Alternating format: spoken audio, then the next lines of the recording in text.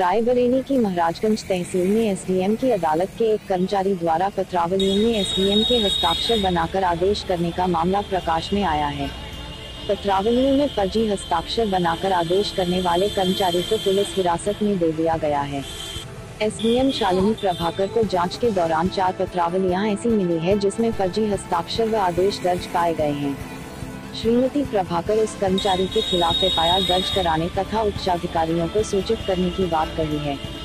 आपको बता दें कि रायबरेली जनपद की तहसील महाराजगंज के एसडीएम कोर्ट की पत्रावलियों में इन्हीं के एक कर्मचारी द्वारा फर्जी हस्ताक्षर बनाने का मामला प्रकाश में आते ही लोगों में फुसफुसाहट देखने को मिली।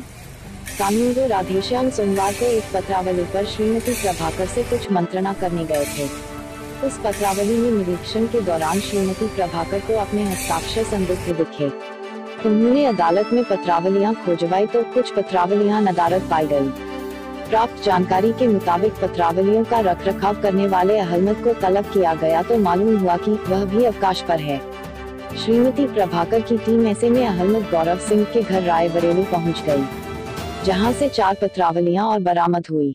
उपजिलाधिकारी के जिसमें हस्ताक्षर फर्जी पाए गए।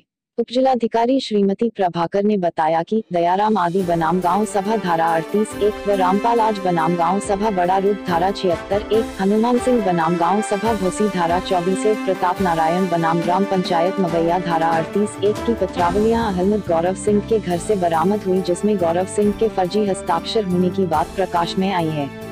वही गौरव सिंह को फर्जी आदेश हस्ताक्षर बनाने के आरोप में पुलिस हिरासत में दे दिया गया है। उनके खिलाफ मुकदमा दर्ज कराने की बात कही गई है और डीएम व कमिश्नर को मामले की रिपोर्ट भी भेजी गई है।